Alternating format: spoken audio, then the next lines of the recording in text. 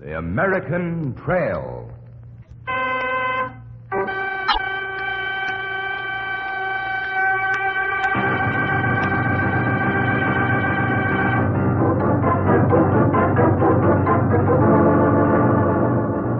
The American Trail. Blazed in blood. Defended in blood.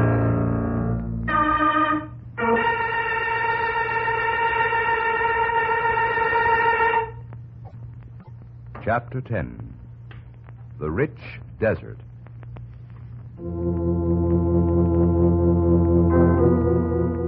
Arizona, the year 1879.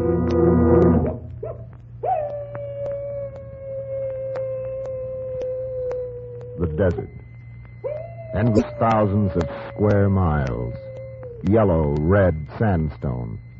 Rock formations. Cactus. The desert. Graveyard of legends. Been here 150 million years. Hasn't changed much in the last million. Graveyard of men, too. Water. Water. White man. Water. Sunburned. Water. A white man sunburned almost black. Water. Water. There's water in the desert if he can find it. There, somewhere in the purple, shimmering haze. Water. It'll be over pretty soon. Thirst will drive him mad. The sun will do the rest. Water. I can hear it. Water. The man scoops the water up with his hand. What is it? Holy stuff, uh, what is it? Taste of oil. Oil. Oil. What's good oil to me now? I found oil and I want water.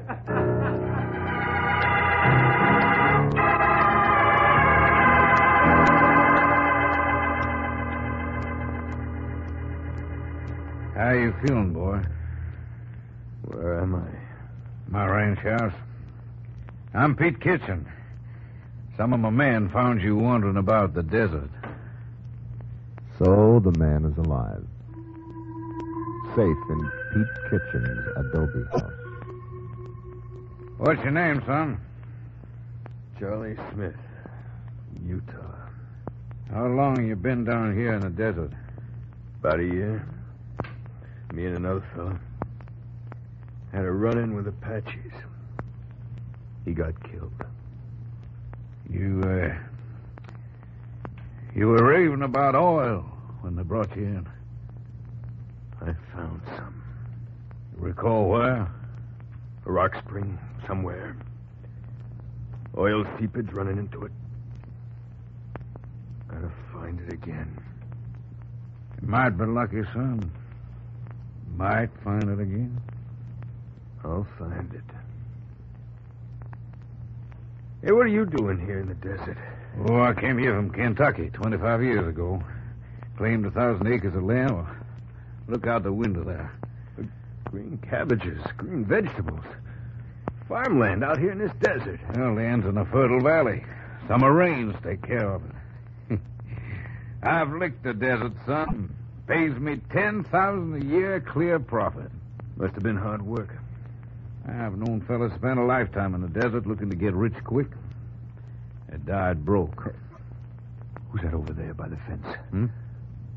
Well, it's Mary, Mary Hawkins. She's like my own daughter. Well, isn't she?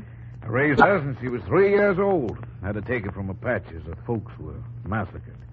Wagon train wiped out. Now, Mary!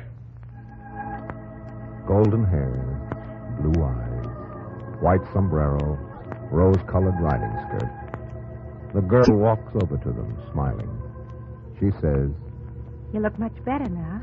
He says, I feel better, too. You gonna stay with us? Well, I'd like to, but What? but I found oil. The desert's a big place. I'm not scared of the desert.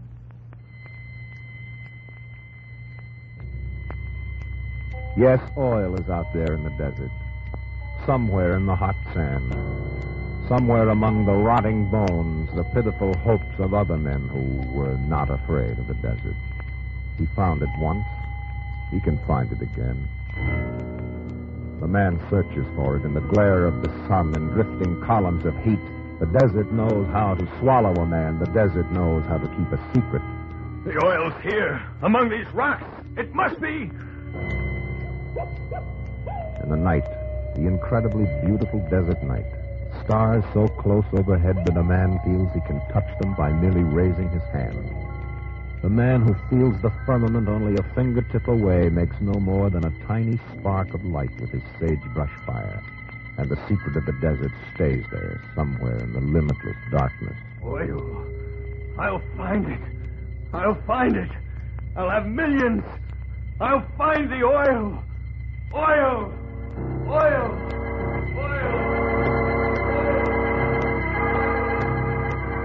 The merciless heat of a billion candle power sun beats and bakes the man until it changes the very words in his mouth. Water.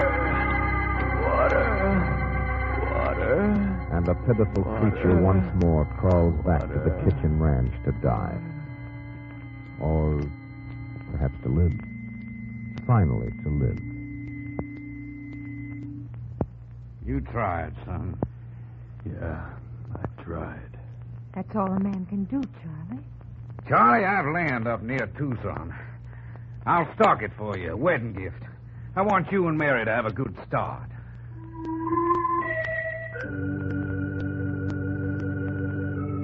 Two years.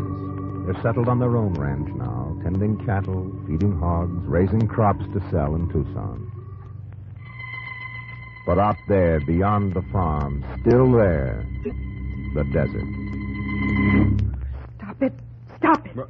What? Standing there in the door looking out there. Mary. I've watched you for weeks. You lay awake nights, you get up in the night. I've seen you standing there at the window looking out. That oil.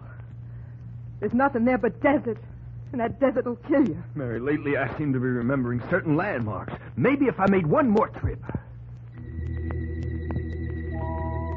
The desert has come to life. It's spring. Yes! Yes! This is the place I found it! Somewhere here. So this is where his oil is, at last. Mary, I'm going to drill. The money. We've got the money. Men hired, equipment set up, a 40 foot derrick, a whole season's crop of citrus paid for this. The big skeleton tower that will operate the cable weight, the steam engine that will drive it, cabins for men to live in, huts to store machinery in. It all costs money. What ambitious man ever stopped to think of money when a mortgage could be signed with two cents worth of ink? A hole is dug. The first steel bit is lowered into. The cable weight is ready to start driving the bit downward, downward into the earth.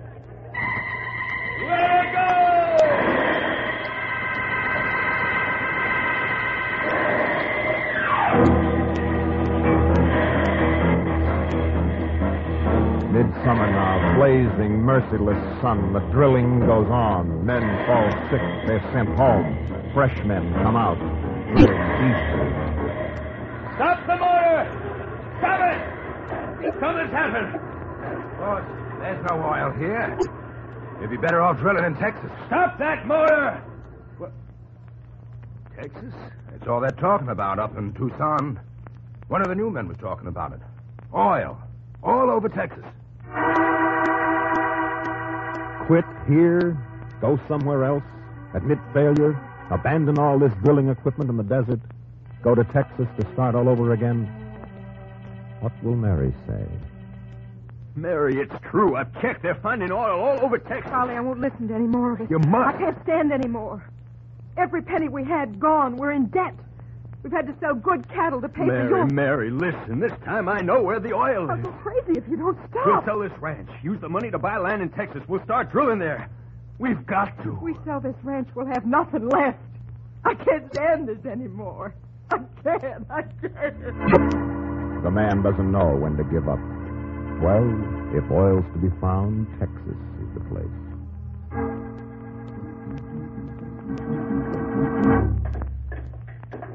Acquired some land in Texas. Drilling equipment is set up. Now, Let it go!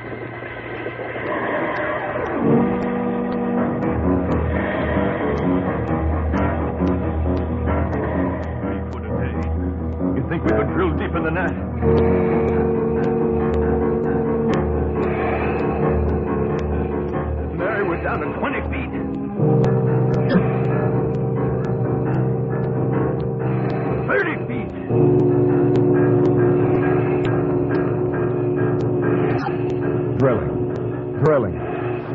drilling. Oil has come in not 20 miles away. 35 feet, 40, 45. Now,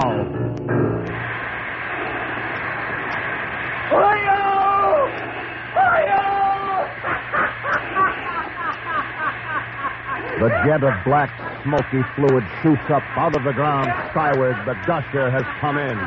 It's oil! Mary, what did I tell you? Look at the oil. We're rich. That fellow over there, the surveyor, look at his face. He can't believe what he sees. And the man kneels there in the dirty treasure that he has wrenched from the desert with his hands and his heart and almost his life. The man has cracked the desert secret. And he prays and he cries, and as men will when they have fooled the mighty desert. The man laughs in triumph. Oh, mister, I knew I could do it. I found oil. I got it out of the desert. Well, mister, what do you think of my oil? That's not oil.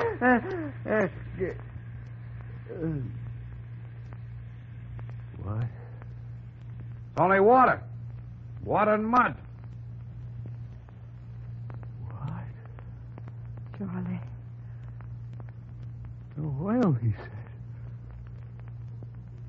I don't believe it. I don't believe it. And the man is sitting in the stuff now.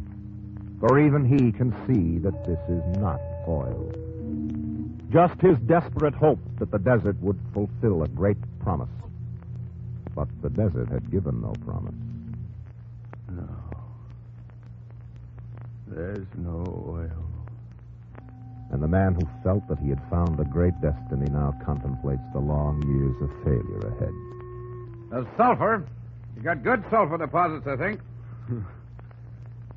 Sulfur. What good is sulfur to me? What good is sulfur? It'll probably make you a very rich man. So the man has won, challenged the desert and beaten it. This sulfur of his needed for making newsprint, phosphates, textiles, and within his lifetime for the products of another century, new medicines, rubber tires, gasoline for aeroplanes. No question of it, Charlie Smith has won. There were others. In the years since then, a thousand Charlie Smiths, a thousand thousand. Lured by the riches of the great Southwest, they dared the desert time and time again. Some found oil, gold, silver, copper, zinc, salt, and took them for industrial America. And some found nothing. And the desert just lay there silent, watching, still watching, half amused, brooding on its secret knowing man with all his schemes, with all his work, has found less than one millionth of the wealth beneath its sand. And the rest the desert holds, who knows?